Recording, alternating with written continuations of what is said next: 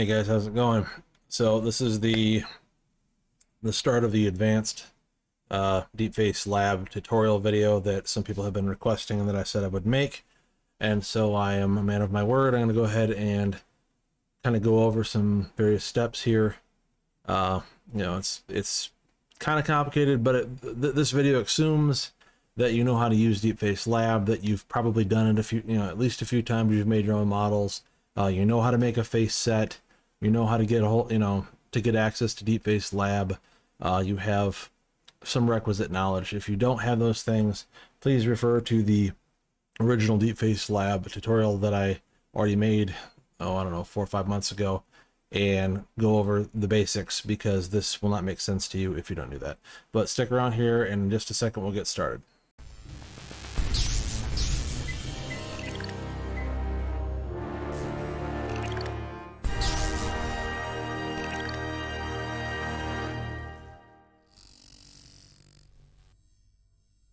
If you haven't already done so, please click the like button, uh, subscribe to the channel, and leave a comment below. Thanks. Alright, so you probably noticed this big notepad document I've kind of written up here, and I'm going to kind of go through some steps with you guys, but then of course we're going to actually do the things that are listed here more or less.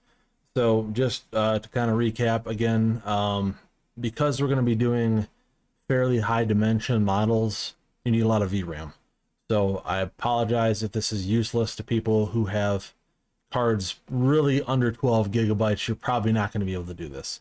Um, I don't know for sure, but pretty reasonably certain because I tried with an RTX 3070 when I first got into doing like the Deepface Live stuff, and 8 gigabytes was not enough to train even a 224 resolution uh, RTT, which is ready to train, is what that stands for, um, RTT model which is what uh, you know that's for the pretty much the lowest you, you can do lower resolution so if you want to try 8 gigs with like a 192 resolution model and maybe shut off AdaBelief optimizer you might be able to have enough VRAM to, to do an okay live model. So follow along that may work for you but like I say because of the high dimensions um, and it's a VRAM hog I really recommend.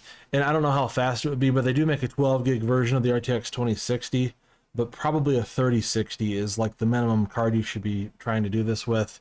Uh, 3080, there's a 12 gig version of that. The 10 gig version is probably still not enough VRAM. It's I'm pretty sure you could do the the 224 with it, um, but even then, that's kind of iffy. But to do like a 320 res or higher, and I'm gonna do a 320 res in this video uh, you, you want a lot of VRAM. Like I'm doing with, you know, obviously I'm using 3090s, 3090 Ti, and my RTX A6000, which is way overkill for 320. But just uh, again, you're going to need lots of VRAM. So I apologize if this is inconvenient to people. This is a set of steps that will help some people. It will be less helpful to other people. You could probably apply this though, um, and still actually, like, in fact, I'm sure you could apply it. Uh, to, to pretty much any situation if you want to do like a lower res mo model of your own and then just keep kind of folding that into new models. Because that's what we're going to go over here is a we're going to go over like how to more quickly train a model instead of like starting from scratch. We're going to get like a big pre-training bonus out of using certain files from the RTT model. And then we're going to also go over how to roll your existing model into the next model so you don't have to start all over again and you can make new add new source characters at any given time and it will quickly learn them and you'll be up and running in like a day or two with a fairly I don't want to say like complete model. GAN is the problem. Like we'll get to that, but like for those of you again who have been who are familiar with Deepface Lab, you know that GAN can take a long time for some reason. Sometimes it still takes days for GAN to finish, which sucks even if you've already got GAN files in there that I've used before and it's picking them up, it just seems like if you changed much of anything, like the destinations changed, or you've added more source material, or like, you know, uh, you've changed the source, GAN sometimes will quickly finish, but it just seems like it usually still takes too long, so or a while. So, uh, anyways, back to the task at hand. So you want a lot of VRAM. Uh, required software you're going to need is, of course, Deepface Lab you're going to need the RTM face set. Now there's new, uh, for those of you who don't know, like uh, I think it was the 18th that iPerov put up a new version of the RTM face set and the RTT model. Uh, so you can still get the original ones. I'll have all I have all the links you can see uh, on screen right now. There's links to everything, and I'll put those in the description so you can get either the uh, version one or version two. The difference, to my understanding, is that when you use DeepFace Live and you blink, the model tends to morph slightly. So, like you blink, and the model kind of seems to slightly contract inward and then pops back out again. And so if you've watched enough DeepFace Live, you'll you, you probably can notice it. Where again, it just kind of causes like a slight flicker or a deformation in the whole face every time the person blinks. Um, apparently, he's come up with a solution to fix that. He created this secondary set of uh, again this RTT model, which is a pre-trained set of model files that's been pre-trained to 10 million iterations. And so that's why when you use these encoder files that we're going to go over, it will expedite the training of your model quite a bit. Um, if anybody in here has tried making their own live models using the RTT model already, then you know it's quite fast. But what this lets you do is you can apply uh, the encoder and the decoder from the RTT files to any model as long as it uses the same dimensions and you can get that 10 million pre-trade bonus on a 320 res model. I've done it on 448 i've done it on 512 and they all get the same benefit from it. Like it, it vastly like within 10,000 iterations the model already is getting pretty good definition. So if that should tell you anything it's way faster uh, than not using a heavily pre-trained model. Uh, i didn't the last deepface lab um, video i did you know the, the original tutorial i didn't really understand fully uh, the benefits of pre-training but a heavily pre-trained model is is awesome. It will super uh, super speed your your training compared to not doing it at all. I used to do like 100,000 iterations and thought I was doing something. It's like no. Um, I don't know how he's doing 10 million on these, like what hardware he has or how long that takes, but it must be uh, a lot, a long time. So, anyways, uh, RTT encoder, he, he or model, he made again like this newer one and there's a new version of the RTM face set, and there's a different methodology to training it, which I can get the instructions for that and link them uh, in the description if you guys want to screw with that. I'm sticking with the original RTT right now because that's what I've used to make my models because I made them before he made the new ones. So uh, you can use the RTM one or two face set to train against. That won't hurt anything. The original had like 68,000 faces in it. The new one has like 98,000 faces in it. It just gives you more diverse uh, stuff to train against. It'll just learn more, which is good. That's why I've like a, actually I've kind of gone back and trained mine that I had trained against the first version, against the second version now, and now they are, they've benefited from it. So it's noticeable. Um, but again, something to do with the training methodology, like you don't use eye focus on these uh, these V2 RTT ones, and apparently that helps with that whole DeepFace Live facial deformation when it blinks. So it's like a, you know, it, makes more, um, that's what I'm looking for, makes it more realistic. It uh, kind of breaks the uncanny valley a little bit when you see a face kind of morph a little bit when the guy blinks. So that's why he did all that. He put a lot of work into it to, to fix blinking. So um, those are available again. I've got the links to all that stuff in here. Uh, next thing is there is a set of 13 million iteration trained XSEG model files, which I will supply the link to. That's on Google Drive. It's not my Google Drive, but whoever's hosting them, thanks to them.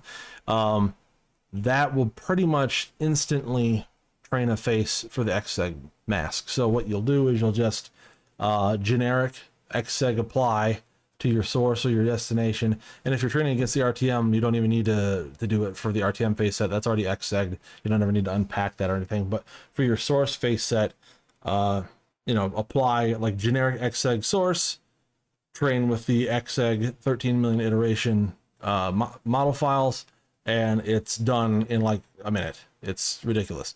Uh, now, sometimes it takes a little longer than that if you have, again, like a bunch of facial uh, obstructions and whatnot. And occasionally you may have to manually XSEG some things because like there's like a something big in front of the guy's face and like it doesn't do a good job. Sometimes it'll get like the upper half and kind of F up the bottom half because it uh, generic isn't perfect, but it's pretty good. Uh, and if you don't have any obstructions in front of any of the faces, which for your source you really shouldn't anyway, should be fine.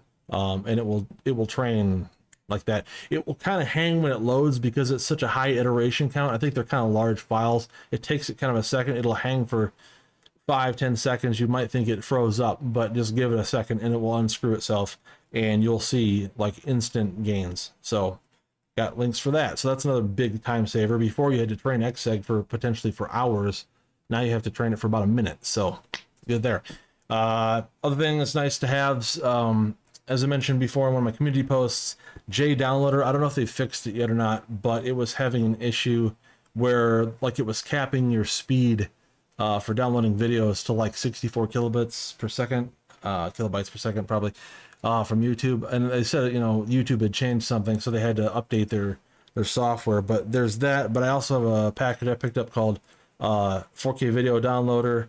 Uh, it's like 15 bucks for a lifetime uh, license, and you can use it up on on up to three PCs. Uh, 10 bucks to get you like a year access to it. I thought $15 was worth it for the lifetime access. So you get that. You paste links to videos you want to get off of YouTube for source material or destination material. I know that like best practice is to use like ripped Blu-rays and things of super high definition um, for source material. But I have found lately, like for, for example, with the Mary uh, Elizabeth Winstead model, that was almost exclusively pulled off YouTube. With um, I did I did rip the Blu-ray from the movie The Thing, uh, but that was it. Everything else was from YouTube, and uh, I mean, there's like interviews and stuff on there of people that's like 4K, and a lot of it's really excellent quality. So, what I like to do is you can see here, I've got all these videos in a playlist that I've made on YouTube. So, like, as I'm kind of going through my day, I will occasionally do a search for Anne Hathaway interview 4K or, you know, try to find some of the movies that she's been in and find clips of those and kind of evaluate their quality and decide if I think that they look like they're sharp enough. You can, you know, in two seconds look at it and say, okay, that looks good or that looks like crap. And so as you you can see, I've got this large list of Anne Hathaway, uh, you know, little video clips. Some are just like a minute. Some of them are substantially longer than that. And I take all these links and I throw them into the video downloader software. It pulls down all those videos uh, you can preset it in this case. So I have it set to MPEG 4 best quality uh, because some of them are in like what's called a WebM format and a lot of them are in MKV format. And I use Adobe Premiere Pro and for some reason it is incompatible with those formats. I really wish Adobe would get off there and support a bunch more formats because it's really annoying having to convert stuff.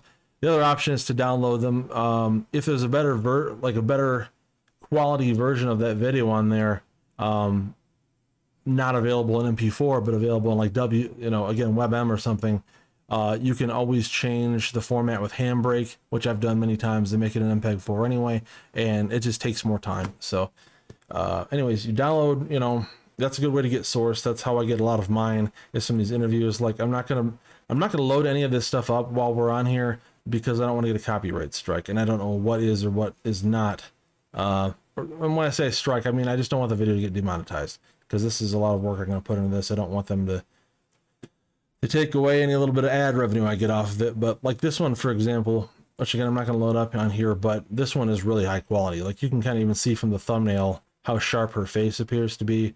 Um, a lot of these are good. Interstellar, there was you know a lot of footage of her in that. So, anyways, that's going to be my next thing that I'm going to do is work on. Uh, downloading all that stuff and creating a face set, which ultimately that takes, depending how big it is, it's usually like a three or a four hour, but most of that's just waiting for it to extract faces.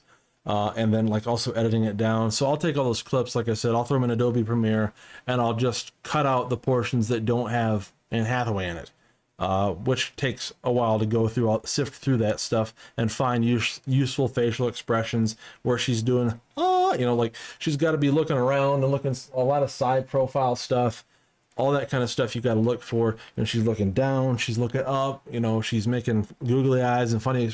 The, the crazier the facial expressions, I find the better. And a lot of those, oddly enough, um, seem to come from like uh, late night shows, like with David Letterman or Jimmy Kimmel, those kind of guys. It seems like uh, whenever someone is being being interviewed by one of these comedians, um, like there's a lot of giggling and laughing going on, but you know she'll be tossing her head around, oh, you know that kind of stuff. I, I make funny noises, but you know she's they're having just a good conversation between the two people.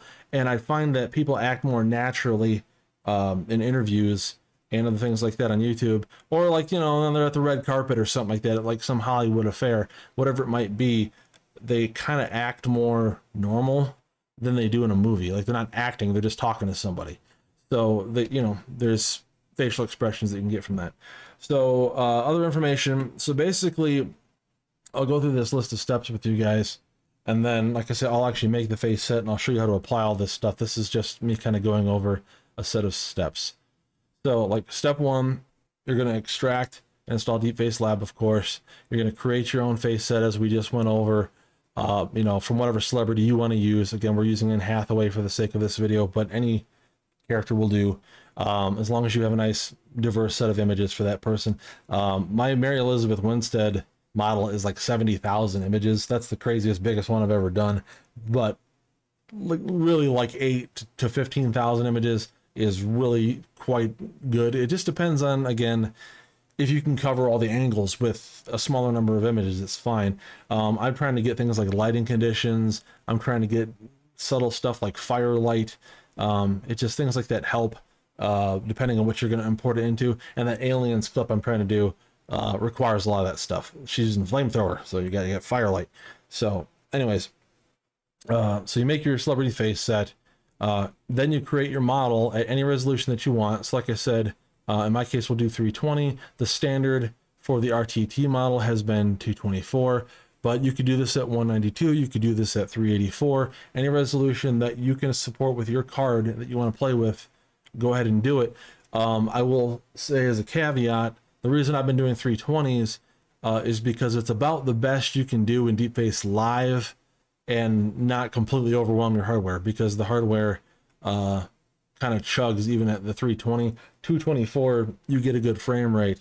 Now, when the RTX like 4090s come out, you know, who knows how much faster, uh, better frame rates you can get. But currently, like I say, 320, anything above that, I don't think you'd be able to use it. Like 384, it would just chug. It kind of chugs at 320. So, and but 320 has been looking good in video. So I was kind of trying to find a balance there. But anyways, uh, so make your model any resolution you want, and you need to use the following uh, dimensions. So the autoencoder dimensions are 512. Uh, I don't know what EDIMS stands for, but the EDIMS are 64, the DDIMS are 64, and the dmask DIMS are 32. Those are what are by default used by the RTT model, so we need to mimic that in our whatever model that we create. You're going to uh, briefly begin training your SAEHD model starting with random warp on, LRD, uh, and again, some people leave LRD on, but this is how I do it. You can do what you want.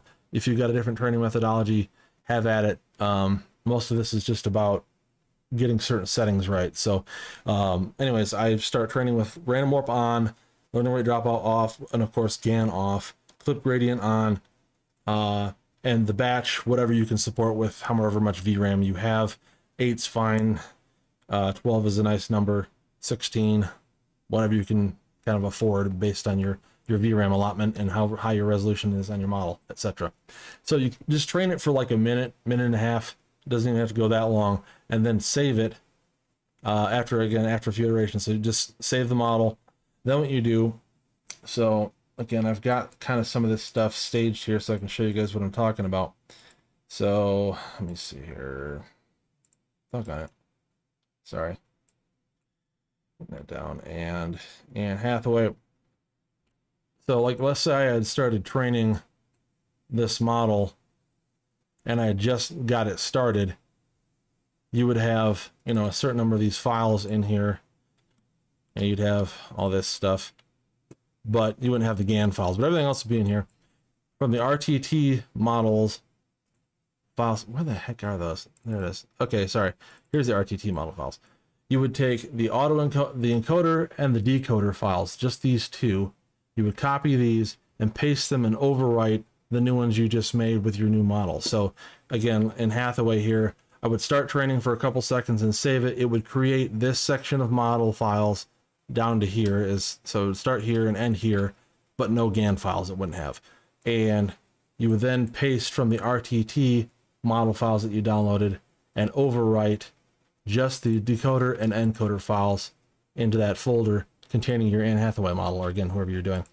That replaces, uh, that allows it to basically gain the pre-training bonus of 10 million iterations. So it starts off thinking that it's already been pre-trained 10 million times, even though this is from a 224 res model, which you can see here, it doesn't matter.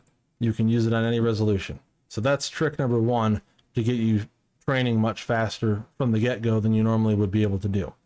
So you've done that, then you can resume training. And when you start it up, which again, I'll show you guys this stuff is I'll do like a demo of it and then I'll kill it and show you kind of like what it looks like when it's finalized. But you, um, so you resume your training, right? And you'll notice it's like, um, some of the training windows will like be scrambled for like half a second. That's kind of how you know it worked. And then the next few iterations, it'll like immediately start picking up. And like I say, within even a couple thousand iterations, you'll see like formation of your character's face starting to take take shape and whatnot. So that's speedy speedy training number one. Um, so then you just train the RTM model, kind of using the same methodology that we've been using again in the past, um, like the DeepFace Live model, for example. Uh, that that tutorial video kind of went over training a D, uh, an RTM model to to make your own DeepFace Live model. This is the same process. So you start with random warp, then random warp plus learning rate dropout, then just learning rate dropout, then learning rate dropout plus GAN until it's done. Uh, at that point, when when that's finished, which you know maybe it's a million iterations, maybe it's one and a half, maybe it's two million iterations, however much patience you want to exert, you can export at that point and make a DF Live model out of it. So you've kind of completed it in the sense that you've made a DeepFace Live model. But if you want to make another model going forward, that's what we're going to talk about rolling uh, files over so you can use them again and quickly create a new source character using all the same files except for one. So stand on one second and I'm going to go into that. All right, so the next step here we're going to talk about is how to basically reuse all of your existing model files to create a brand new model with a different source character. So like I say, right now I'm doing Anne Hathaway. Let's say the next day I wanted to do uh, Arnold Schwarzenegger or Brad Pitt or whoever the heck it is that you want to use. No problem. So you create the new a new set of DeepFace Lab folders. Like I made one here for Anne Hathaway. Like I said, this wasn't here a minute ago. I just copied all this stuff over from my um, one of my other ones, like, Jim Varney, right? Um, so copy over the internal and all the batch files, create a new workspace folder, and create all your own new um, destination source and model folders as usual, right? So you create like a new set of files. Uh, next thing you do is, see, create your new face set for your new celebrity. Again, in my case, Anne Hathaway, but whatever. Uh, place the new face set pack file. So like once you've, you're done making your new face set, put it where you always put it, which is uh, data source. What did I say? Yeah, data source aligned as normal. Then if you want to train against the RTM face set again, which you can, or whatever DSD clip you want to do, you would, you know, put those in the destination slash align folder. This is pretty standard stuff for people who have DeepFace Lab experience, like I said, but just to kind of reiterate, you know, whatever destination you want to train against, put that in your destination align folder. Uh, the next thing you do, so right, we're going to copy over everything but one file. So I'm going to go ahead and do that now, actually, just to show you guys what I'm doing.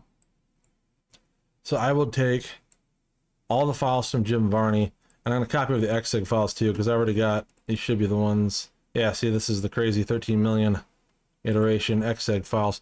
I'm going to go ahead and copy over everything except for the inter AB file. I'm going to paste that into Anne Hathaway. Done deal, which was pretty fast actually. Uh, the reason we're doing that, and I'm not like a Python wizard, so you know if I explain this wrong and someone wants to correct me, uh, I'm sure like iperov would have better knowledge of this, or like a lot of the guys in the DeepFace Live and slash Lab Discord server probably understand this better than I do of why it works the way that it works. But to my understanding, so the inter AB this is inter stands for interpolation. The interpolation AB file uh, is basically like the record of it learning the source and how the source relates to the destination. The interpolation B file is just its learning method knowledge of destination stuff, faces, right? So if you keep the B but drop the A to B, it forgets your source character, in this case, Jim Varney, and it will generate a new one of those once we start training uh, our new source, which in this case will be Anne Hathaway, but it retains all the destination knowledge it never had. So it retains all that training you did against the RTM face set. So you've taught it presumably either 68,000 or 98,000 faces, depending if you use version 1 or 2. And so it knows a boatload of people. Because it already knows so much stuff for the destination stuff, um, if you give it like a video clip to play with and don't train against the RTM face set again, um, it will almost instantly know that destination clip. Like it'll be pretty well learned right off the bat. You can go look at it and you'll be able to see fairly good definition on all those destination images, like I say, within a few iterations.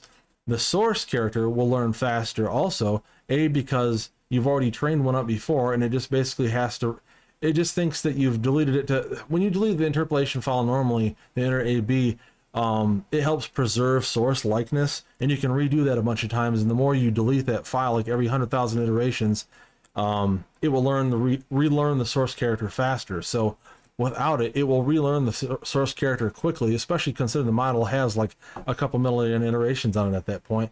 Like mine has this one I'm doing is a little over 2 million right now that I've been screwing around with again this is uh, 320 etc etc as we've discussed but because mine has got a lot of training on it um, and the interpolation file B has been trained heavily and knows a boatload of things. Um, it doesn't take it long to learn the destination, at which point it kind of, again, this is kind of how I understand it.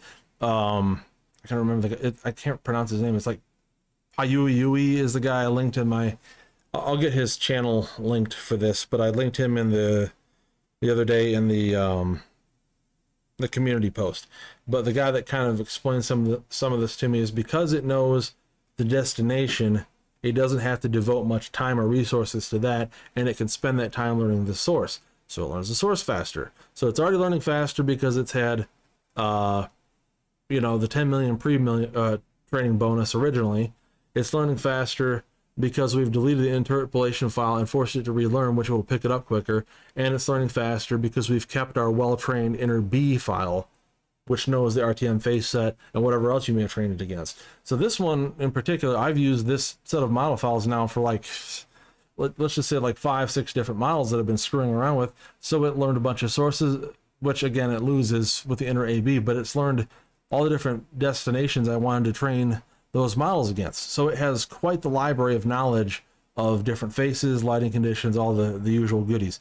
So keeping the inter B file is key, but dropping the inter AB file is where we where we want to do that. So once you've pasted that over, you start training, like I say, against the RTM or a destination clip of your choice, and you'll notice that it's almost immediately learned the destination or very well depending on how far you train your original RTM model. So if you only trained it for like 800,000, it's not going to be as fast as if you trained it to like a million and a half.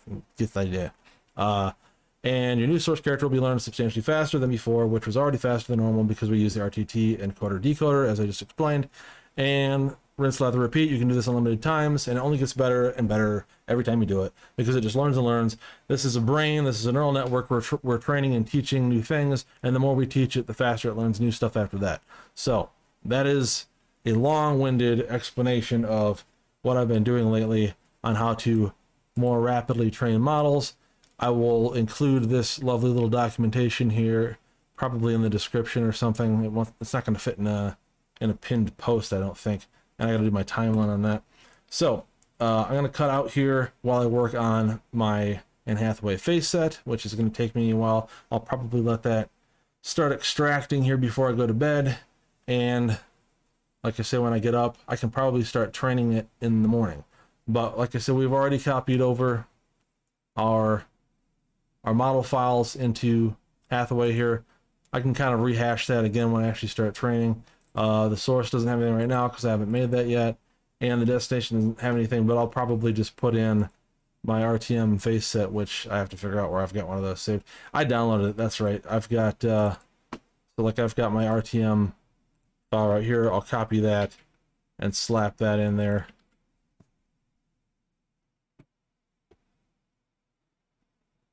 All right. So we've got our destination train against. Pretty good size. for, for an archive file, it's pretty large. But we've got our destination file, we've got our model files, uh, we've got our basic folder structure here. The last thing I need to do is make my source character for Anne Hathaway, which I will begin doing right now. I will see you guys in the morning when it is ready to start.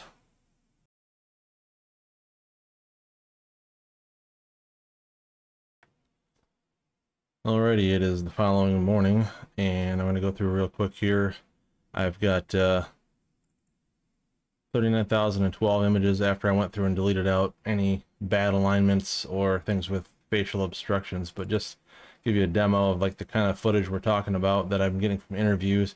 This is like red carpet kind of stuff. You can see, you know, pretty good detail on the mouth. The eyes are pretty sharp and well defined. Hair and stuff, you know, not that we need the hair, but just saying like, another thing I don't like about um, doing uh, deep fakes of women sometimes is the longer hair. They often cover up like an eyebrow or something. I have quite a bit of footage here where it's not like that. Like she's, I think this is either Jimmy Fallon or Jimmy Kimmel, but she's on, you know, a different Tonight Show type interview situations. So you can see all kinds of different angles and she's got kind of different facial expressions. She talks a lot with her hands apparently, so she's doing this stuff a lot and being expressive and giggly and that kind of thing. And so, like I say, you get kind of funny stuff like this. Some of them aren't as sharp as others, but like I say, most of it is is pretty high quality. This is from an interview she did for Interstellar, and that's pretty good quality stuff there. And it'll sharpen up a little bit beyond the source image, even with a GAN. So, just a different interview she did. Like I say, some of it is directly from the movie Interstellar. Um, just that kind of stuff, you know, interviews and whatnot. So what I'll do now, again, I know this is like rehash for people who know how to make a face set, but uh, I will go ahead and apply my generic XSEG to the source, and that's going to take a little while because 40,000 images takes a while to apply anything to, unfortunately. It takes a real long time to do 70,000 images. So we'll go ahead and tell it to run on the A6000. And I will be back when that finishes. I'm suspecting that that'll take probably, yeah, like 20 minutes or something like that. Okay. All right, I'll be back when that's done. Okay, we've finished applying our generic, well, uh, add, yeah, the generic source XSEG. So next thing I'll go ahead and do is train XSEG. But first of all, uh, because the destination is the RTM face set, we don't want to XSEG train that. It's already done, and it would be a waste of time to load it up. So I'm going to go ahead and just rename that folder for the time being. I'll change it back when I'm ready to start training the model. But I'll go ahead and this way it won't draw the destination uh, images into the XSEG training. Like I said, that just takes longer and takes longer to load. So we'll go ahead and load this up. Now this is that 13 million iteration uh, XSEG model files, which should train this very quickly. It's going to take it a second to load all this up though, because again, it's a lot of images. So I will be back when it finishes loading that up. All right, it is just now loading up. So it'll hang a little bit. And like see, see it kind of went up to like nine seconds there for a second, like it hung. But give it a second here and the training window should populate. There it is. As you can see, this has just been trained to bejesus. I didn't do this personally. I wish I could take credit for it, but um, one of the guys on the Discord server, I don't know where he got it from exactly, but it was made available publicly through his Google Drive. Now you can see it's ostensibly already done. Now there's some, uh, I'm going to see if it picks up and covers up that hair, for example. It's not flawless sometimes when you use generic. Like, see, it's picking up that girl's face in the background for some reason. So, you know, sometimes you might have to go through and do a little bit of manual XSEGing. But like I said, you can look at the loss graph up here, and it's immediately, like it spiked for a second and it started to drop off which indicates that it's already ostensibly learned what it's going to learn. Uh, see, look how well it did the hair. Like somehow it kept the eyebrow. it kept the eyebrows, but it got rid of the bangs. Like it's that smart. So I'll let this go for like like two minutes basically. Sometimes I let it go a little bit longer, like I say, just because it's a fairly large number of images, and because again, like any kind of hair obstruction uh, is sometimes a problem with women with long bangs or when their hair is framed around the face. Like sometimes it'll include some of the hair, and you want to wait till it hopefully figures out to exclude it without your manual intervention. That's the problem with these large face sets is it takes so long to load them up. It's kind of a pain in the neck to have to manually do anything because then it's like you're waiting to load it and waiting for it to train and then see if it fixed it and then waiting to load it and etc etc.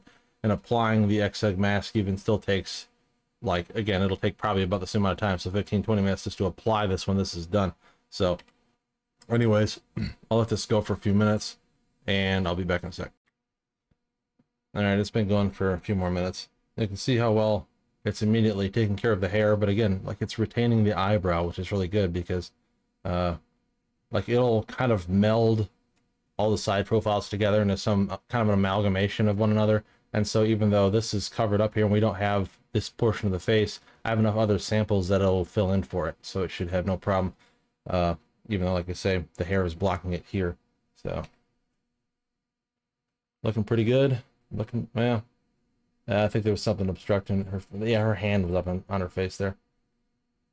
Again, she gets to talking with her hands and they kind of do this stuff a lot. I had to delete a fair number of uh, images manually because of the her hand was an obstruction. Alrighty, I think that's sufficient. That was about five minutes. So I'll go ahead and apply that, or basically hit save to, or enter, sorry, to save and close that out. I'm tired. I went to bed late last night, guys. Uh, had that flood I mentioned in my community post. This kind of has been trouble. Wish I had a bunch of money and then I could just just dump this place and move, although that'd be a pain in the ass. Anyways. Alright, so that's done. I will go ahead and apply. So data source trained apply. And again, like I said, this will probably take just as long as it did to apply the generic. It might be a little faster, I don't know, we'll see. Uh, nope, pretty much exact same time frame, so I'll be back when it's done. Alrighty, that is finished applying our XSEG trained information, so I'll go ahead and kill that. So I could just pack it like it is, or I can go ahead and sort it. I like to sort sometimes. It doesn't take that long to do that with uh with Threadripper, so I'll go ahead and do a sort. And I'm gonna tell a sort by face yaw direction, so that'll start like with the person facing to the left and they'll gradually turn their face and by the end they'll be facing the right at the bottom of the, the sorted images.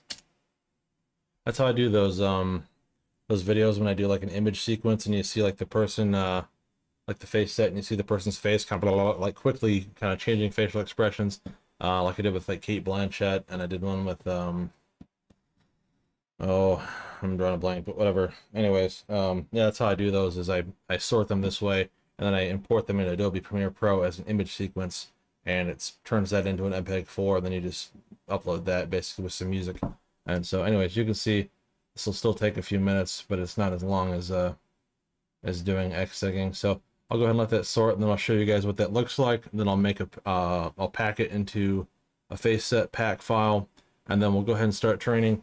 Uh, looks like according to the the community post where I did the poll, uh, it's a slight edge, but it looks like people want me to start Anne Hathaway from scratch, so I can go ahead and do that. Um, it's going to take longer for this video to come out because as a result of that, I think it won't take, I don't know, probably like a week or something to get there.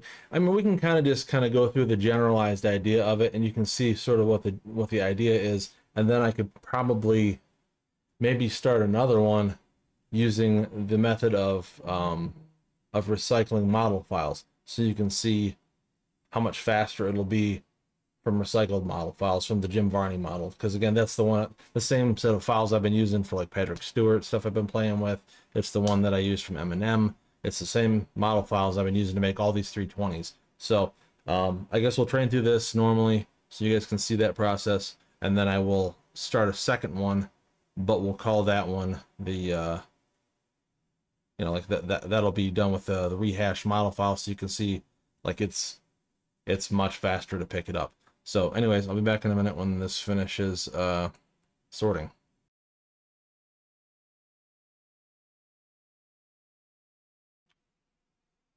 Alrighty, our sorting has completed. So I'll go through here and you guys can take a look real quick at the alignments. You see it starts, she's facing left, and as we scroll, it'll slowly start turning towards the center. Very slowly, because we have a lot of images. but you get the idea, kind of scroll through this, and she's kind of gradually turning and I'll go further and now she's looking pretty much right at the camera and a little further she's starting to turn the other way etc etc you get you get the idea and at the end we've got her facing that direction. And when you do so when we train and we enable uh, source flip all these are seen as both directions even though physically we only have well physically but digitally we only have one copy of each image. But in virtual memory it's going to have it flipped both directions to train both ways. So even if you have maybe you don't have a massive number of the person looking in one direction if you source flip it considers it as them looking in both directions uh, which effectively doubles the size of your face set so instead of 39,000 we have you know 78,000 and uh, 24 basically um, now the stuff that's staring directly ahead, it being flipped doesn't really do anything other than uh, it's useful for like facial expressions. So if she's blinking in one, flipped, she's blinking in the other. So, or appears to be. I thought that that would mess with like facial, uh, like moles and stuff, like birthmarks and so forth. But so far I've noticed that it seems like it figures that out. So it's pretty smart system. All right, so we've uh, we've gone ahead and sorted uh, now earlier, as I said, when I renamed this folder to DST1 so it wouldn't XSEG train, it auto generates another empty destination folder. So I'm going to delete that back out and change the name of this back to this data DST. There we go. That still contains my RTM base set. All right. So next up here, I'm going to go ahead and pack that source base set into a pack file if I can find the bloody thing. Here it is. So data source utility face set pack. I would like to retain a pack file. This should be pretty quick, about a minute, because this is uh again CPU. This, this computer, the Threadripper, some of these things it does substantially faster than either of my Intel systems. But the Intel systems have advantages too because they have higher core clock frequencies. So certain activities like merging that some of the color transfer modes like SOT are single core. Uh, so for those, like the 12900K is better. But for this, this is better. So momentarily here we can get get going. So it's asked me if I want to delete the original files. When you pack the files, it's just like putting something into a zip archive. You delete the original files, so all you have left in the data uh, source slash align folder is the FaceSet pack file and you don't have a bunch of loose images, it will do that quite quickly. And that should leave us now data source. Now it still has all the loose images that I extracted from, and those I will probably delete at some point because they just take up a lot of a ton of drive space. But the alignment just has our FaceSet pack file. So we've got to reiterate, like I'm going to delete some of this stuff because we're going to start this uh, a fresh one like you guys said you wanted me to do. Um, I've got all this backed up as Jim Varney anyway for later when I want to do it a different way. So I'll just delete that for now. We'll just keep our xseg files. We're going to do a fresh, brand new 320 res Anne Hathaway for the sake of DeepFace Live slash recycling and whatnot. But our source folder has our FaceSet pack as we saw. Destination has our FaceSet pack. Uh, this is just a folder I made because I was saving all the different little video clips I downloaded from her. I could probably delete that any time as well. But, you know, later I might evaluate some more of it if I feel like I need uh, a little bit more source material. But I think 40,000 is probably sufficient. I think we got the angles pretty well covered, etc., etc. So next thing up on our list is we want to create the new model by starting training in SAE HD. What I'm going to do hold on a second here. I gotta find. Apparently, I got that open twice. That's not it either.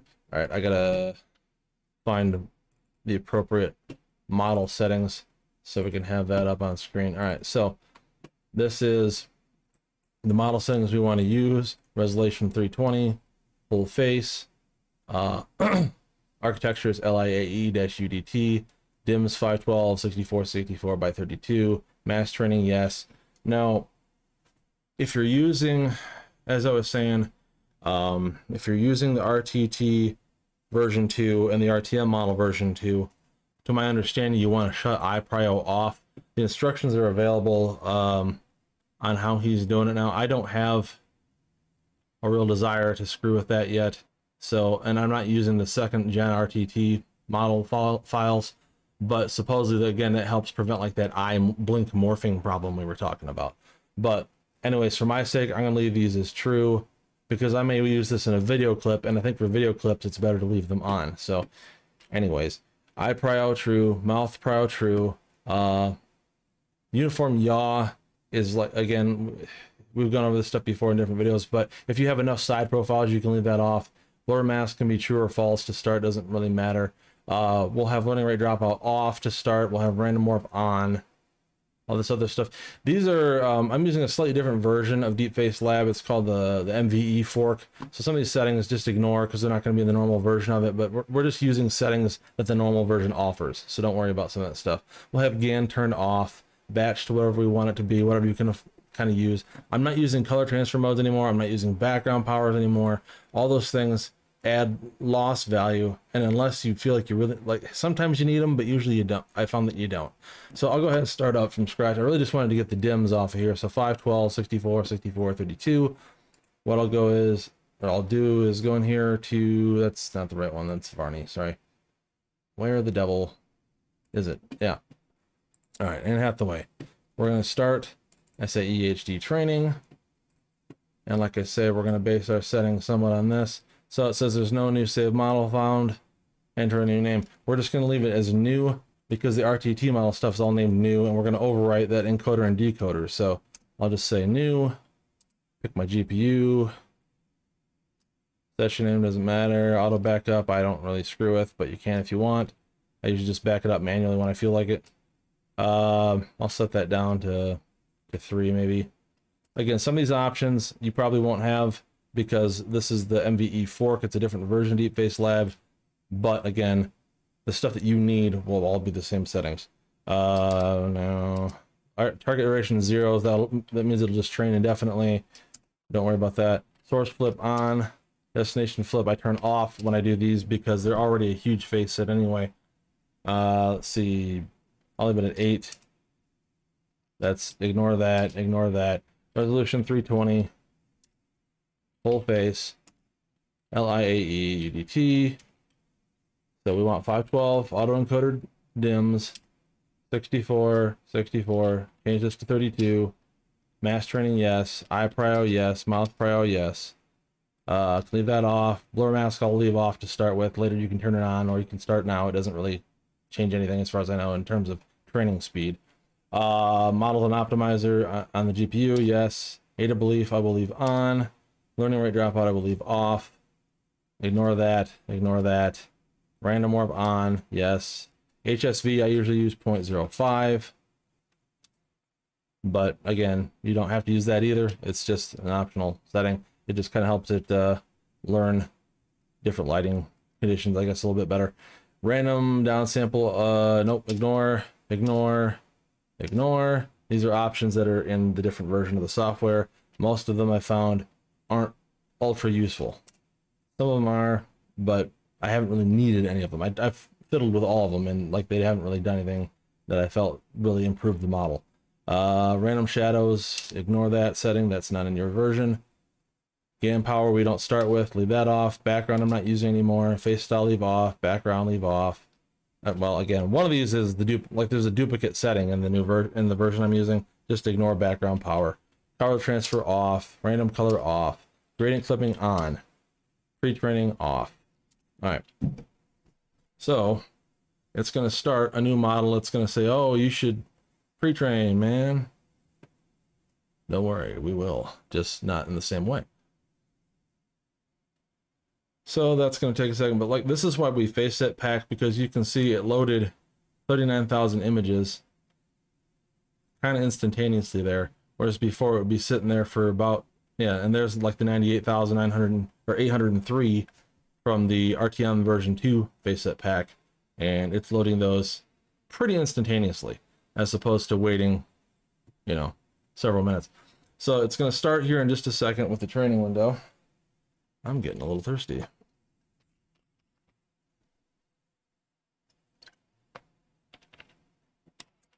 All right, so that comes up. You've got like your kind of gray side over here. And it's doing, you know, little something something. But it will take quite a while to really get any kind of, uh, you know, any kind of thing out of this. So basically it just started. I'm going to save it. I'm going to save it and close it.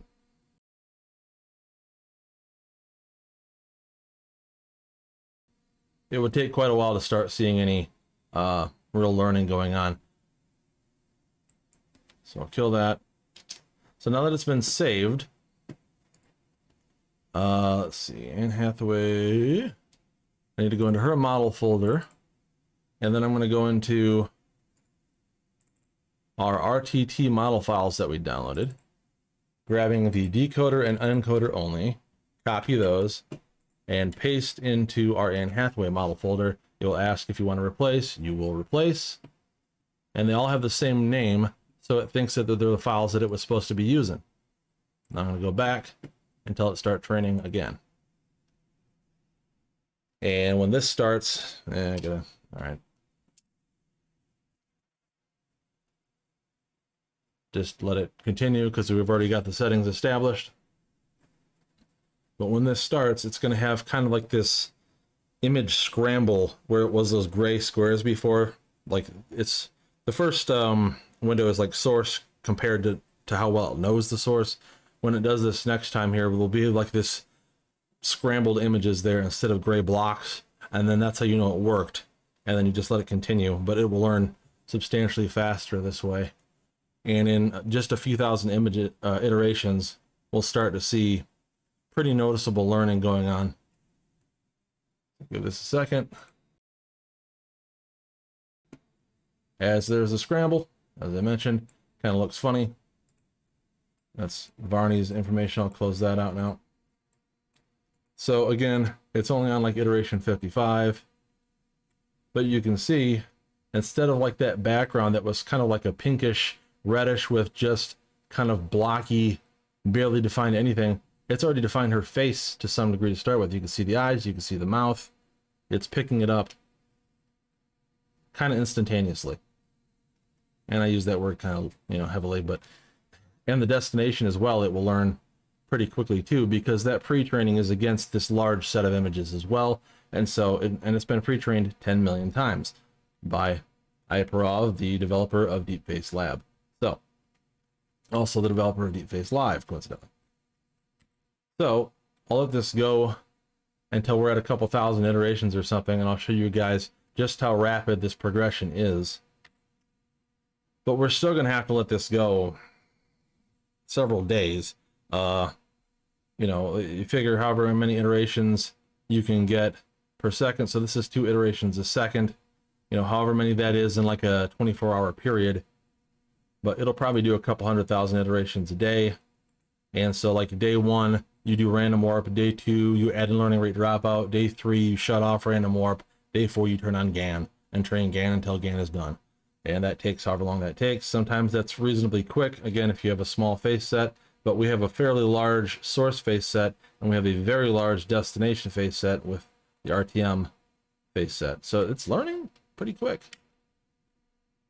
Alrighty, you get the idea. That's what we're doing. If anybody has questions on how to do these things, if I'm going too fast, um, you know, I'm going to try to define all these steps. I've got it all written out in a document. So it's like step by step, should explain pretty well, coupled with the video. You should be able to figure it out. But if you have, and again, assuming you have a fair amount of experience with DeepFace Lab, because if you don't, um, go back to do the previous tutorial video.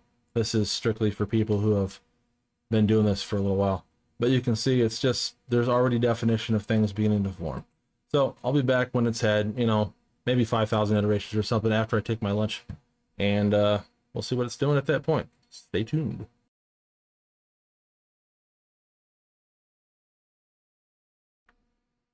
So I know I said I'd be back at it for a couple thousand, but this is 562 iterations. You can see Anne Hathaway's face, like, it verbatim. Like, it's already being rendered out. That's not even, there's 600 iterations. The destinations are being learned.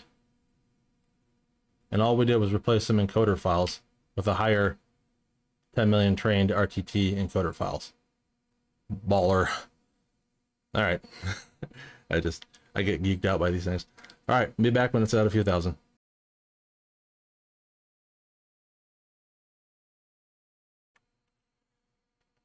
Alrighty, so this is, like I say, just shy of 11,000, well, just over 11,000 now. Uh, it's been going almost exactly an hour, maybe an hour and 15 minutes or so, because the first save point takes place 15 minutes. So let's just say an hour and 15 to do 11,000 iterations. So roughly 10,000 iterations an hour. So 24 hours in a day, that's 240,000. Roughly what I had said was about 200,000. I was a little bit off, but in that ballpark.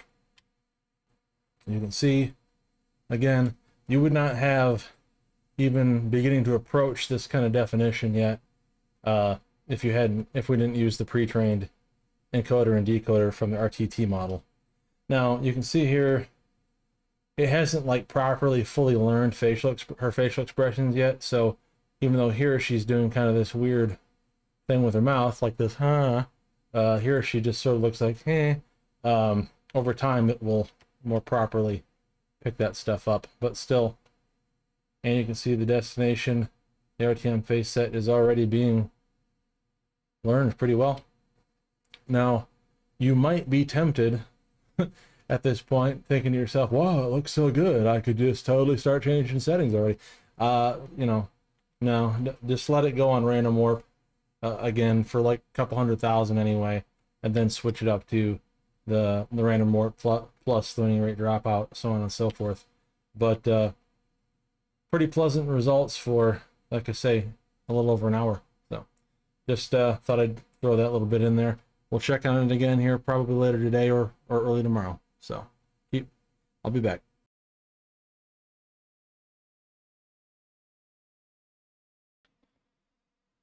Alrighty, it is now just shy of 6 p.m.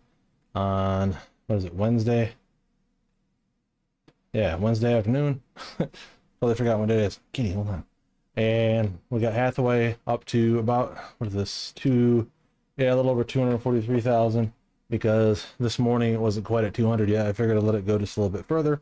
So you can see we've made pretty good progress. This is still just standard random warp, so I'm to go ahead and hit save. I'll hit enter to save and close that out. Cats grumpy at me for being gone all day, of course. So what am I doing? Go back in here. Jedi. Which is taking its dear sweet time. And I'm going to turn on learning rate dropout. Okay. Turn that on. I'm going to leave random warp on. Everything else being left the same.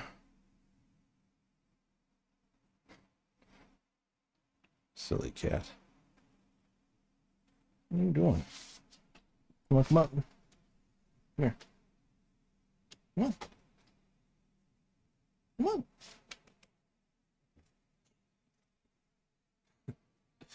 He just wants attention. That's all he ever wants is attention. Who's in there? What's that? He's a pretty good boy.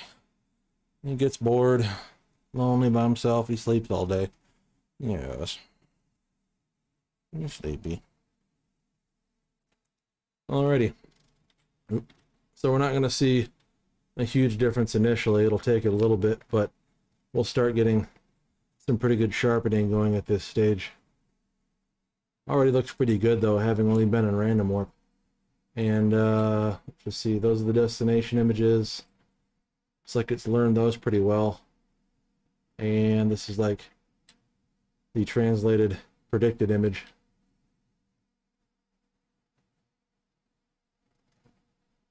Some of them are better than others, but there again, it's not been going that long, about a day. All right, so that's uh, progress at this point. I'll be back again about the same time tomorrow, and we'll shut off random warp probably at that point. And then the next day, we'll probably go turning on GAN. So, you guys have a good night. I'll see you tomorrow.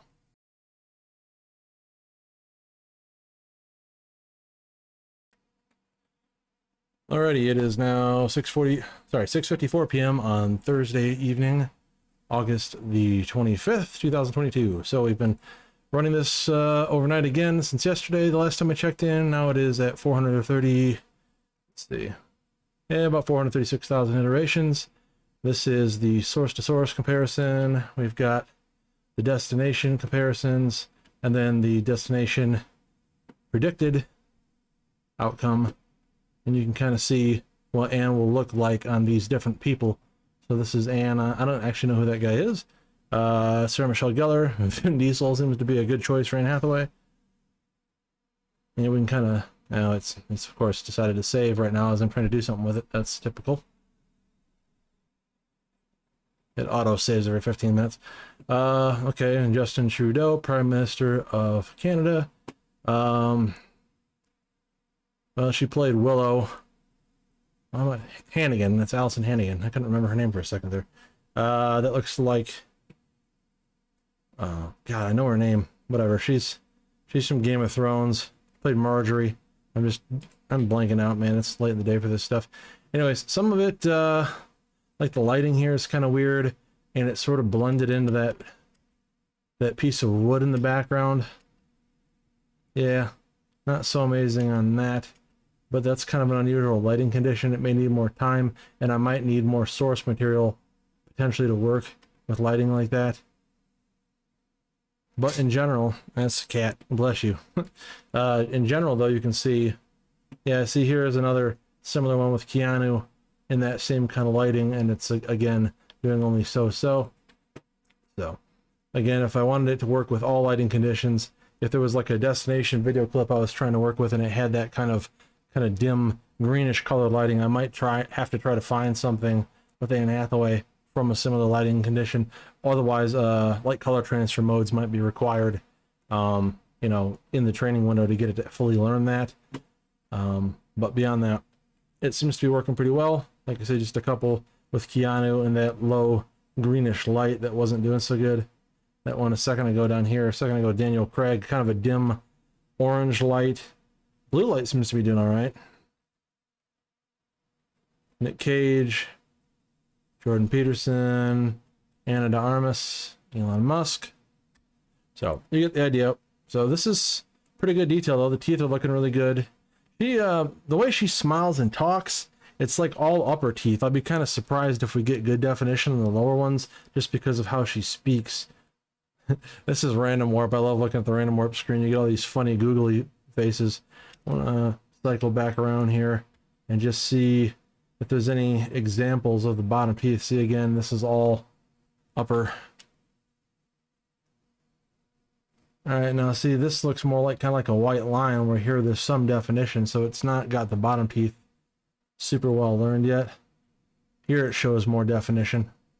So kind of iffy on the lower teeth, but there again, it's just because, uh, you know, of the way she talks generally tends to be this, you know, she gets her big choppers up there. But anyways, I'll go ahead and save this. Looks pretty good in general though. And I'm going to shut off random warp. So we'll be running strictly uh, learning rate dropout. Uh, where the heck? Reload this.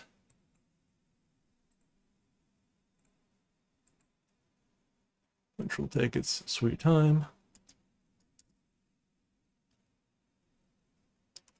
All right, we're gonna come down. And again, ignore a lot of these settings. This is again because I'm using a slightly different version of DeepFace Lab. It's called the um, the Machine Video Editor Fork. It's made by different people because DeepFace Lab is open source, and these guys added more options. But most of the options, uh, some aren't really flushed out yet. Like it, like um, like floating point 16 doesn't work. Some of this other stuff doesn't work, or doesn't really, um, isn't really needed. And so I'm just using settings that you guys will have access to in the standard version. So we, there shouldn't be any confusion. So here's random warp. I'm gonna shut random warp off, and everything else being left the same. and it will load back up here. Load, load, load. Come on.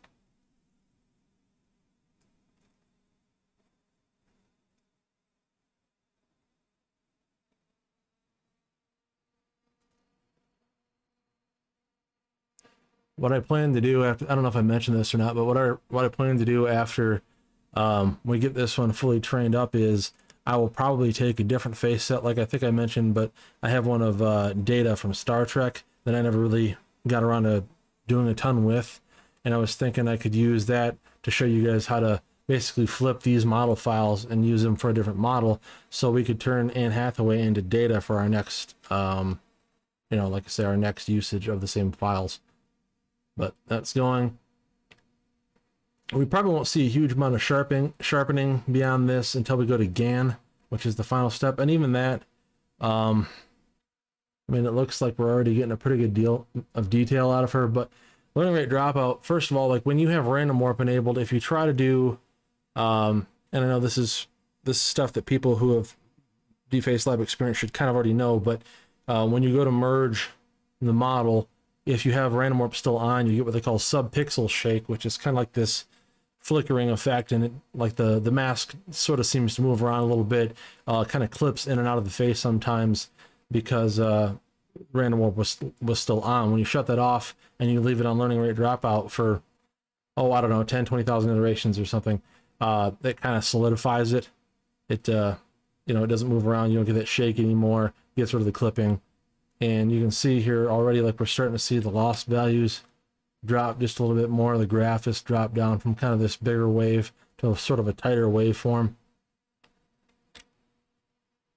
And anyways, I'll let this go overnight again. Tomorrow, by the time I look at this, it should be somewhere around 650, 670,000, at which point I'll probably go ahead and enable GAN and we'll probably let it go until, you know, we'll let it go until it's done, but that'll probably be in the ballpark of a million. And so that might actually take a couple days.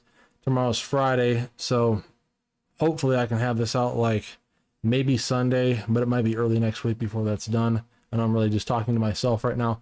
But anyways, when the uh, video is ready, it'll be ready. But anyways, I'll see you guys tomorrow.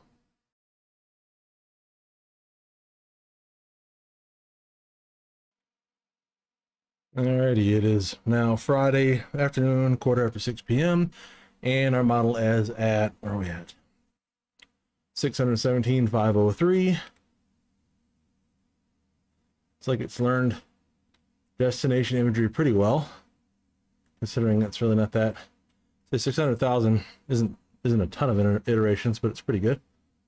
And it's doing a fine job thanks to those encoder and decoder files we gave it. It's up here again. So I'm going to go ahead and enable GAN here in a moment. Yeah, sorry, just Kitty showed up, want some attention. Pretty much when I get off work, he's been bored all day. Not surprising. Now GAN is going to take longer to train because it slows down the iteration speed by about 200 milliseconds per iteration. So Get this fired up here.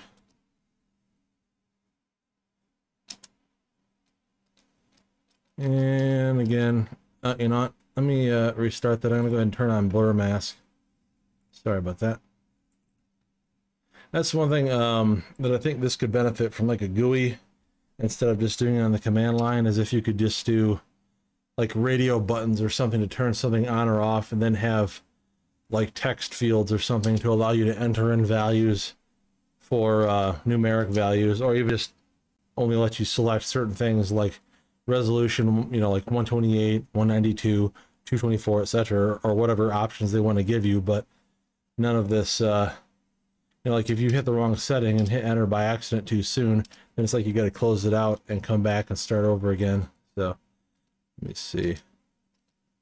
Let's skip blur mask this time. Blur out mask, turning that on. And now I'm going to find our GAN setting. Enable that at 0.1. Patch default is 40. Now, the default DIMS is 16. I'm going to do 32 because that's what iperov is suggesting for the new, uh, you know, with the new RTT model set and the new, uh, you know, in his new instructions for training live models against his newer versions of the RTT model slash RTM face set. 32 is what he has in the, the recommendations. So I've just been starting to use that lately. lately. I'm shutting this off. This isn't a setting that's in the normal deep face lab, and I don't use it anyway. GAN label smoothing, so I'm just shutting that off. Everything else should be lock stock. So I'm gonna let this load up here. And this won't be noticeable for a while. It usually takes, oh, I don't know, let's just conservative estimate of like 20, 30,000 iterations before you'll start seeing it actually do something. You'll think that it's just like, oh, it must be done because it looks pretty good. But there's actually, uh, like I say, at a certain point, you'll start seeing these little kind of like stippling bumps and like grid-like patterns starting to appear on the faces. And that's when you know GAN is starting to work. And then that'll go for however long it goes. I've had that going for almost a week on my aliens video with uh, Mary Elizabeth Winstead, and that still isn't done. So that should tell you how long GAN can take. I think that's largely due to the fact that that face set is extremely large. So let's see. So first off, like I said, the uh, before we were getting training speed of about 460, now it's 660. So like I said, it went up by about 200 milliseconds per iteration. So it will take longer to achieve the same number of iterations. And like I say, it doesn't really look any different right now in the training window, but as time passes, that'll change. So when I check in on it tomorrow, for example, or if I came back later tonight or whatever, it'll probably at least start to display some of those GAN features. But I mean, really, it already looks pretty good. Like actually the destination image uh, looks better than the source image already. Um, some of that is just from its it's interpolating the image. So like her teeth look worse, but her eyes look better. There's like a pearlescence to teeth that this is one of the ways I've noticed um, with deepfakes. You can tell if they're like when you're watching a video, if it's not the real person, is the teeth and the tongue. Uh, the tongue will just kind of look like a textureless, pinkish colored piece of meat. Like it doesn't look like there's any texture to it. There's no gloss to it. Um, you know, like somebody speaking should have theoretically their tongue should be kind of moist. Um, it will look like there's really kind of nothing going on there, and the teeth tend not to take on the full you know, like I say, shine or pearlescence of real teeth that kind of look like more like white chiclets. Um, you know, I think that's depending on the resolution of the video and the lighting and everything. Like, it, it maybe is more noticeable or not so much. But I've never, I, I don't think they ever quite hit true realism with the tongue or the teeth yet. And the lips tend not to necessarily get. Uh, and maybe this is like a lower resolution thing. Like maybe if I did one of these for a super extended period of time at like 512 or 640 resolution, like maybe those things would be more prevalent, or maybe I need higher dimensions or something. But at least to the settings I've been doing it at, that's like dead giveaway. And when I've watched other people's uh, deepfake videos, you know, I've noticed the same thing where like the teeth, um, you know, sometimes it's not so noticeable. Like here, it looks basically the same. Uh, here it's very similar, but there is some some pearliness over here where you're not seeing it there. The tongue here has some again, like some light reflectivity where it's not noticeable here. And when GAN's been going for a while, some of that will improve, but I just don't think that it ever truly 100% captures the original person on those tiny little details. That said, uh, it's going to be going for a while. I'll check in on it tomorrow, and I'll just do probably a little quick little blurb about it at that point. But this will probably need to go for at least a couple days. Hopefully, it won't take a super long time and then we can get this video uploaded. So I will see you guys when I check in next time.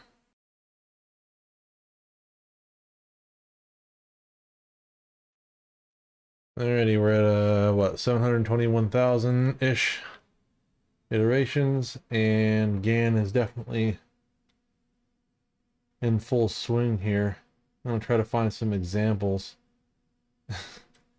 looks really funny on Trudeau because like the beard is sort of messing with it, and so it sort of thinks that his upper beard mustache area is kind of the upper lip. You can see how that sort of creates some weird translational problems, but um, the images aren't real big, so it's kind of hard to tell. But if you look around like the eyebrows, you can see there's kind of like this. There's like little dots or something, or like little bumps, I guess, would be one way one way to, to notice it. So GAN is kind of on there. Uh, let's see. And it comes and goes. So it's like you'll you'll think it's done sometimes and it isn't. It's kind of hard to tell through here, but under the eyes, there's like a couple dots under each of her eyes. And then there's like this kind of a I don't know, checkerboard slash grid pattern going on in her cheek. There's like some area here. The images are kind of small. Oh, there, there. This is obvious through here. Like this is really ganned out. You can see all this kind of, uh, kind of looks like tire tread marks or something across her face. Through there, all through here, pretty bit, pretty good through there. So this is, uh, like, let's see if we can see some of the source material kind of again the images are sort of small makes it sort of hard to tell um if like if i drop it down to two samples instead of three like it's a little bit bigger and somewhat easier to tell. But in general um i wish there was some way to just make this a lot bigger. There probably is somewhere in like the python code you could probably change the size of the sample windows which would help but i don't know how to do that. Uh, i might ask somebody uh, in the Discord server and see if like somebody can explain to me how to go in there and modify that to change that. Because like I say, when you're doing GAN, sometimes you think it's done because most of the images will look good, and then you go to try to merge it or try to make a DFM file and you find that it really wasn't done uh, because the image here is too small to see the fine details. Just kind of looking. Yeah, you can see again on the eyebrows here. It's around here, uh, just above her eyes, like in the like some of the makeup area some of the eyeshadow like you can tell it's not smooth it's not sharp it looks like GAN. So anyways uh like I said this is 722,000 Oh, I have no idea when this will actually be done. That's the problem with GAN is it can go a short period of time and you and you reach your destination. Sometimes it takes several days. Um I did that Mary Elizabeth Winstead aliens video and that took like it never even finished. I ended up trying something else, like using different GAN files from my M&M model, and then suddenly that worked pretty quickly. So, like GAN ran for better part of a week and didn't finish. So it's it's got a lot to do with like face set size. I think this face set I think is what like about forty thousand. We said uh, the Mary Elizabeth Winstead is like seventy thousand. So yeah, it makes sense that, that would take a long time for it to fully upgrade all the images, but it just takes a very long time sometimes anyways, uh, hopefully those examples were useful. I know that they're not, again, like it's kind of hard to see on, yeah, like here's one you can see pretty well, like uh, through the cheek area and the forehead here. There's kind of like this, uh, kind of a tire tread pattern almost appearing on parts of her face. So GAN is definitely working and it definitely isn't done yet. So I'll check on it again later today and then probably again tomorrow. Hopefully it'll be done by tomorrow so I can upload this video on Sunday. Uh, if not, it'll be done when it's done. So be back in a little bit to check on it.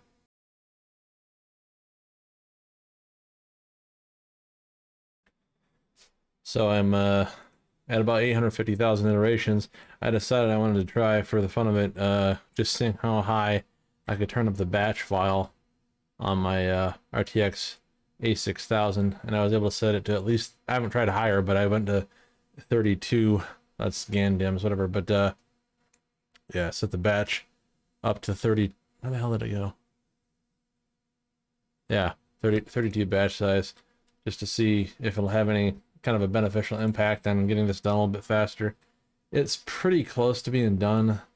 Like it seems like on the source images anyway, um, like the gist of the GAN artifacting and like grid patterns and stuff has largely ceased. At least uh, I've checked it a few times and I've sat here watching it for oh five ten minutes and it hasn't really been doing it so I think it's largely getting there. You can see in the loss graph here, like how wide the variance was before at a low, at batch 8 and as soon as I cranked it up to 32 it like it tightens that right up because it's losing a lot less per iteration. Let's see. Seems like there was still some GAN kind of stuff going on in some of the destination images. And I could probably export it at any time and at least test it because it might work just fine. Uh, it's probably just a couple of like extreme lighting conditions in some of these destination images that didn't work as well. I don't know, you know, uh, technically it should work in most use case scenarios, which is the purpose of training this this way against this big face set. But you figure um, most people who are going to use DeepFace Live and uh, you know to to sit in front of their webcam with it are going to have some kind of stage lighting or like i have just got a lamp on in the room right now, but they'll have some kind of fairly uniform lighting situation going on. It's not going to be super dim probably. It's not going to be um, you know like green or like d- dark blue light or something weird like that. So it's going to be like a lamp or like I say some kind of a something made for like like a white light some of these are really funny looking with with her on certain people.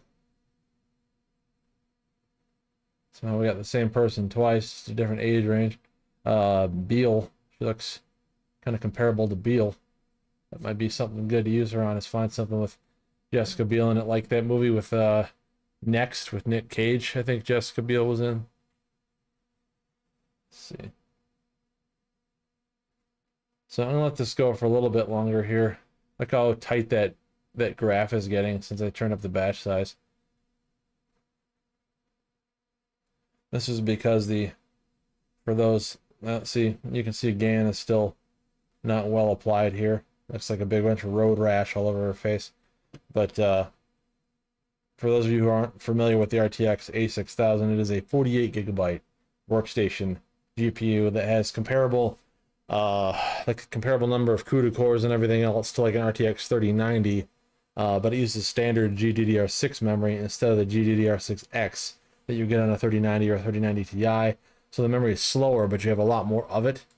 And so like the iteration speeds on this card aren't really that fast. You can actually see at batch 32, it's like 2.2 seconds per iteration, which may sound really slow and compared to what it was doing before it is, but for that many uh, facial comparisons to be done per iteration. That's not a bad speed, but um, like I say, it's not even. It, it's actually a little bit slower than a 3090, and the 3090 Ti is like, oh, probably 10% faster, roughly at least, in terms of how fast it trains each iteration. But those cards don't have 48 gigs of memory; they have 24.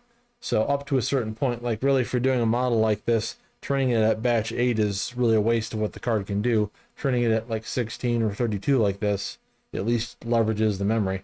Um, but for the, the vast, vast majority of people who are going to try this, I, I think, I don't know what like the percentage of people who own what card is, but I most people didn't want to even blow the money on a 3090 because they're really, you know, for gaming, they're, the, the amount of memory is overkill for gaming and the prices were quite high uh, especially now they're kind of the opposite of that. Like now, actually, if you guys wanted to get into this and buy something like that, a lot of the sites have been trying to dump those cards because they're getting ready for the 4000 series and they're trying to get rid of all the inventory they have left of the RTX 3000 stuff, and people aren't buying it because they're waiting for.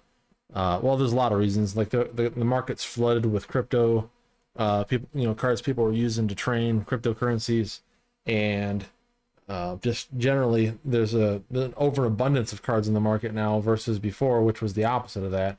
And so now the prices have kind of gone and done a complete 180, whereas before they were getting pretty ridiculously expensive. Like, I mean, you were talking about like two grand plus for like 3090s for a while there, and now they're like some of them are as low as like uh, under 11, you know, under 1100 bucks, and like sometimes you can get a 3090 Ti for like 11 to 1300 dollars from EVGA on right on their site, and they're bundling it even sometimes with like power supplies or other stuff to even give you a bit of better of a deal, and they're still not selling them out because people are waiting for the 4000 and or they don't need cards because they can get cheap used stuff. Like if you go on Facebook Market or if you go on um like Craigslist or any any kind of a want ad kind of place right now, you can see um like there's an excess of cards available. And I mean, some of the cards I've seen up there for a long time and no one's buying them. I had to briefly try to list some of my stuff at one point when I thought that the 4000 series was coming a little bit sooner. And uh, I mean, I wasn't even getting any offers really. So the market is kind of squirrely right now. But yeah, like I say, screwing around with this at a little bit higher batch if you can do so gets those loss values down. It's really not necessary. I mean, you can train it at batch four and still get the job done. It just depends on how long you're willing to wait. Like that's why when people ask how many iterations it takes to do something, it's a meaningless number really, because you could train at batch two and get like a million iterations and do far less work than if you did batch, you know, 16 at a million iterations. So like I said, the number of iterations, and there's no like specific number. That people ask me a lot of the time in like Discord, or I see this question posted, like, how many iterations do I need for GAN to finish? And it's like, I don't know. When it's it'll be done when it's done. You know, and people don't like that answer, but that's the answer is just watch it, and when it looks done, that's when it's done. Um, you know, maybe it takes a couple days, sometimes it takes a week. You know, it depends on a lot of factors, like we mentioned, like the size of your face set and all these different things. Um, this is starting to look pretty good I think that's uh what is that? That's Jessica Alba. I don't know who this is. That's Paul Walker, of course. Funny seeing, you know, that's too bad about Paul Walker. Uh, he died here years ago in a car accident, but kind of funny seeing some of these faces on him. I think that's Ivanka. That's uh, the gal from Stranger Things, Natalie, I think is her name, something like that anyways, I'll let this go a little bit longer and maybe a little bit later this afternoon it'll be done and we can do a test of the, the live model and then I can show you guys how to recycle the files from this model. And I've got like a face set for data from Star Trek. I was thinking uh, I'll roll it over into that and we can watch how quickly that picks up and starts learning the new model with data. So anyways, I'll be back in a little bit.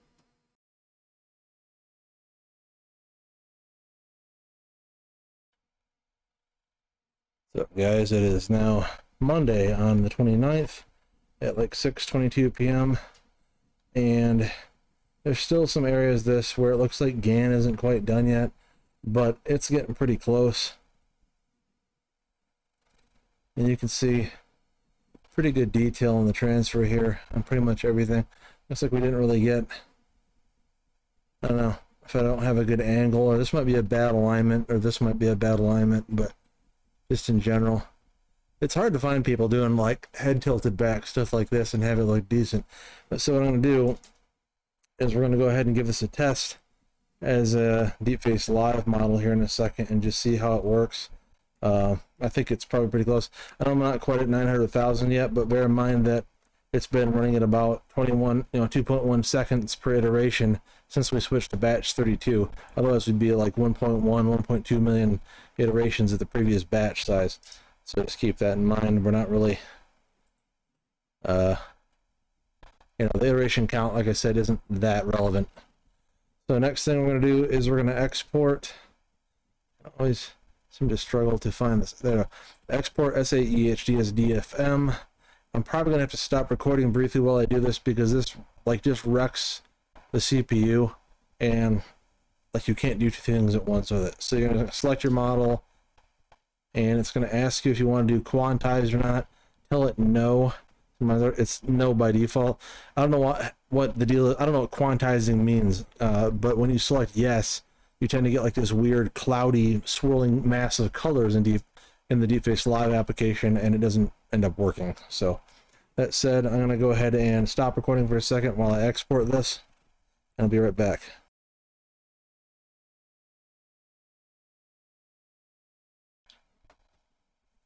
Alright, you can see it is now said finish dumping the file, press any key to continue. So it spits out the DFM file into your model folder. So I'll go into model and find, so it's uh, just the, the same name as your model files .dfm and I'm to change this name to Anne Hathaway 320 because it's 320 resolution. It's just whatever you want to name it. And I'm to open up DeepFace. That's the wrong folder. Sorry. Uh, DeepFace Live. Here we go. Go into user data, DFM models. And I'm going to copy that over into that folder. And I'm going to go ahead and load up DeepFace Live here in a second, and we'll see how it looks. Give me one second while I load that up.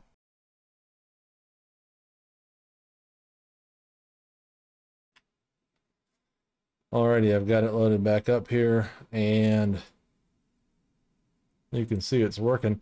Um, the problem it's having is this. Like there's like minor detail on the bottom teeth, but not a lot. And she also looks mad all the time, which is kind of strange. Um, not all the time. Like if I like force myself to look happy, then Anne looks happy-ish. But it just seems like, oddly enough, she kind of looks irritated all the time. Like, looks sad. I don't know what's up with that. Uh, I don't know. It's just something to do with the way it's reading my face, I guess. Um, but you can see, I don't think GAN is 100% done, but it's pretty close to being where you'd want it to be at. Uh, I wish I had some different light. I need to get different light sources in here one of these days. Or I could test this out like on that Unreal um, uh, MetaHuman creator and use the different lighting sources and see, you know, how much difference it looks. But the eyes look really pretty good, big and kind of, you know, big brown eyes. And the upper teeth are really well defined. It's just the bottom teeth. But, like, she almost doesn't show them. And I don't know why. She kind of looks like she's biting her lip or angry all the time. Like, hmm.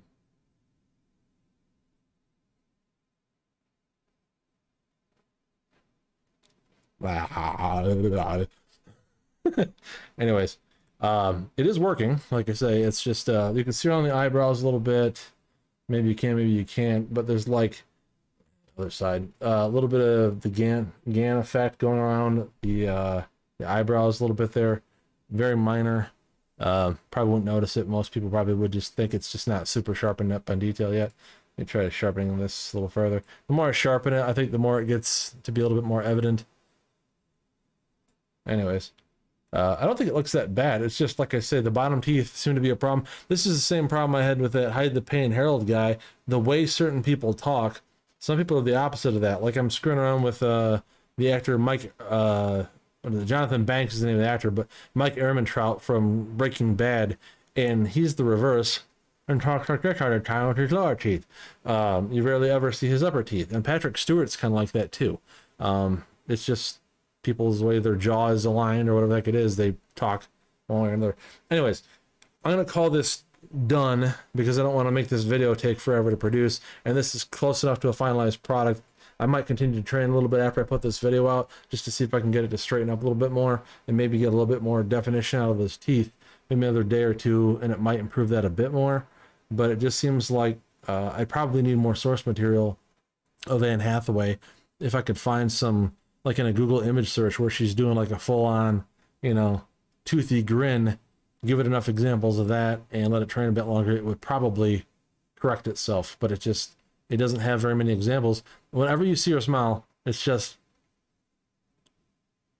it's just the upper teeth. Like she's got this, like even when she's in the middle of a discussion and she's talking. Now you can see actually, uh, the like the lines below my eyes, they have kind of a like little dotted effect that's GAN not being quite 100% done. Like I said, so this will be this will be something uh, I'll probably train a little bit further before I actually upload this DFM file to the Google Drive, but we're going to consider it, like I say, done for the sake of this video. And in a second here, I'm going to show you guys how to recycle model files so I can take Anne Hathaway's model and turn it into anybody else I want in seconds. It's well, I say seconds, but you have to have a face set, you have to have everything staged and ready to go, but you can use the model files quite quickly and have uh, a new model up and running a lot faster than if you start from scratch, even faster than just doing the trick that we did with this one, which is the RTT encoder and, and decoder. Uh, you can, like I say, much more rapidly start another model. So give me a second. I'm going to close out DF Live, and I'm going to go ahead and show you guys how to do that process, and then we'll call this good. So stand by.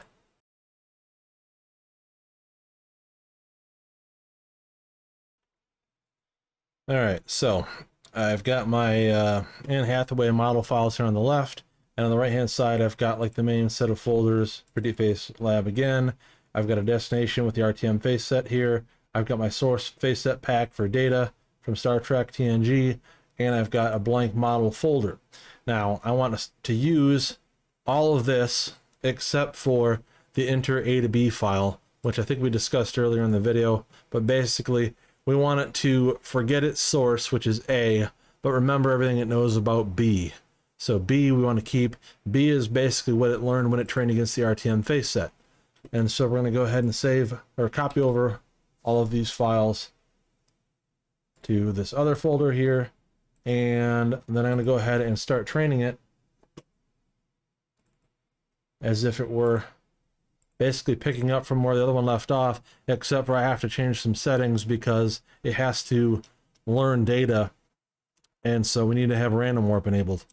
So we're going to go ahead and go back in here. I'll drop this down to two just so the images are a little bit larger. Flip source on, destination off. I'll set this down to like 16 instead just so it trains a little faster iteration speed for the sake of what we're going to be doing here. Let's see. I think I have enough side profile images of data. I'll leave that off. Doesn't really matter for the sake of this demo anyway. All right, learning rate dropout off. Random warp back on. And don't worry about that. Like, this isn't going to hurt Anne Hathaway at all because she's over in her own set of folders. Anne's in here, data's in here. So anything I do with this model is a copy of the original files. I can go back and continue training Anne at any time. It won't have lost anything. It's just that this will now be where the starting point for data. So everything else should be as I had it.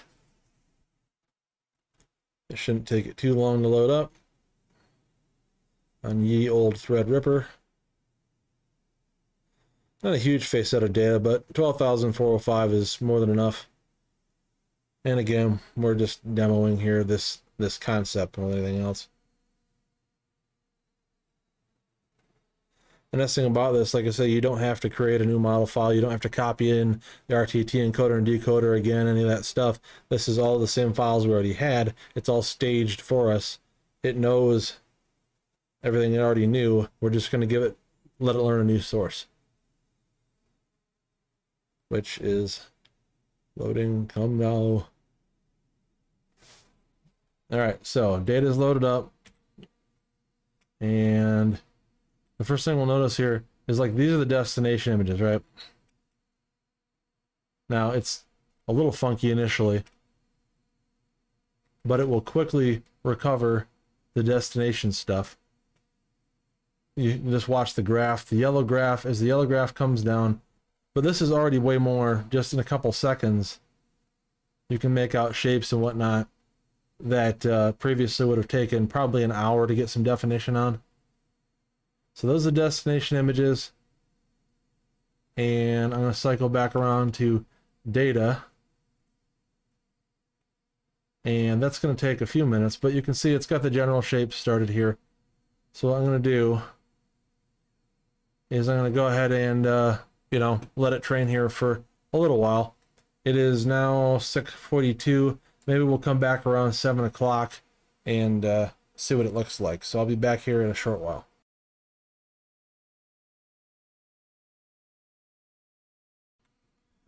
Alrighty, it's now 7 p.m., so it's been going for, what, about 15 minutes? Not quite 15 minutes, because it hasn't auto-saved yet.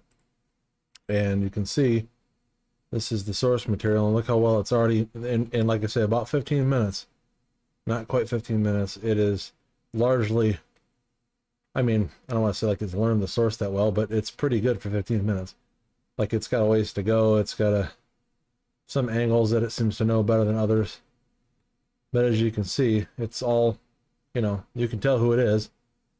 And the destination images, you can see it's already, as evidenced by the destination uh, graph, loss graph, is coming down. It knows the destination images pretty well already. And you can kind of see here how data looks on some of these people already with some fairly I mean, you can tell it, it knows what to do. It's got a ways to go, and some of this stuff it works better than others, like the lighting conditions here, and you know, a dark-skinned individual. It may take more time to to uh, you know adapt to that. Obviously, it's again only been going a short while. he like makes pretty good Paul Walker. Interesting. There's a lot of stuff that I think he'd be kind of cool, and he'd probably look good on Elon Musk. You know, people have put him on Mark Zuckerberg before. But anyways, you get the idea.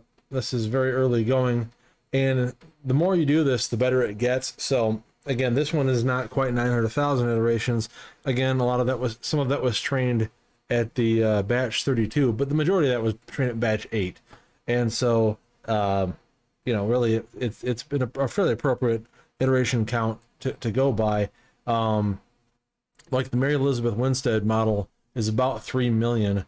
And so you figure as this model progresses and learns more and more and more and more, the, the next source character I give it, it will learn faster. And then, you know, just this kind of becomes an exponential learning.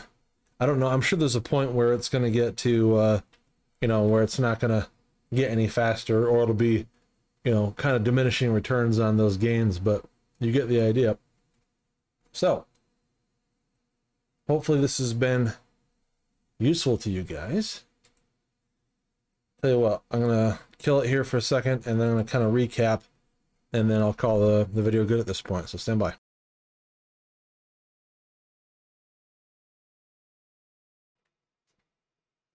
All right, so this is, um, I've copied over from one of the different folders that I already had. I've made this a while back, but it's, it's Terminator 3 uh, with Kristanna Loken as the female Terminator.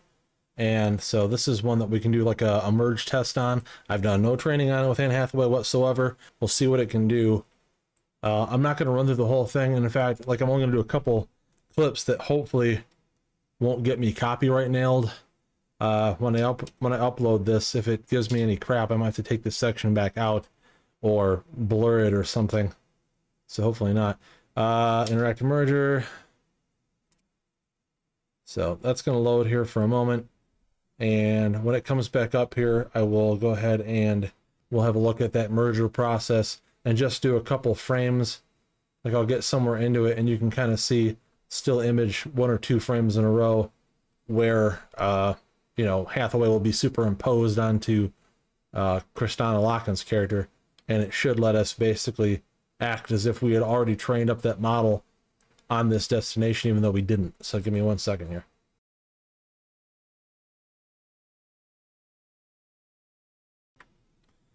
All right, see, like I'm not gonna do any kind of animation here. This is a still frame, single image. Shouldn't get me in any kind of trouble with uh, with the fine folks at uh, you know YouTube and copyright check. But anyways, you can see here, I mean, I did do like some setting changes within the merger program to just kind of blend it into their face a little bit, but you always do that. But as far as the way it looks, um, I mean, it looks like I trained against this destination and that it's pretty much ready to go, right? Um, I mean, again, I want GAN to go a little bit longer, etc. Like nitpicking, yes, like it needs more time. And then again, the problem with her lower teeth needs to be rectified by probably figuring out uh, what the heck is going on with you know my source library and get some more pictures of her bottom teeth so it can learn those a little bit better but just in general you can see that with no with no additional training time a rtm trained model means ready to merge which means it's ready to go on to any destination footage that's why it works in deepface live because it knows enough people that it knows you so you teach it enough people you can import it onto any clip or use it in Deepface Live successfully with minimal additional effort.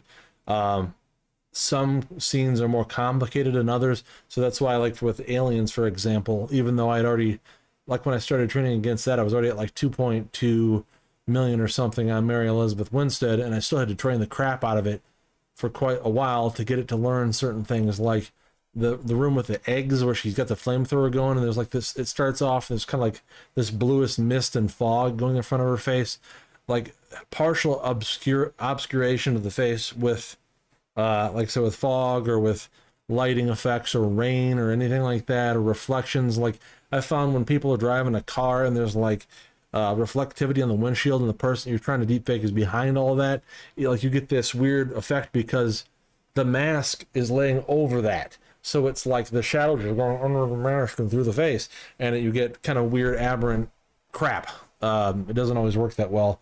So you kind of have to be choosy sometimes about the destination footage you're using, or sometimes you can correct for some of that with X-segging, but just realistically, some things don't work that well. But that said, this is a demonstration, like I say, of an RTM trained model instantly applied to a video clip and getting, you know, acceptable results. So that said, if anybody has any questions, which I'm sure there will be some, please ask them in the comment section below. Um, I've got a PayPal tip jar that I've created.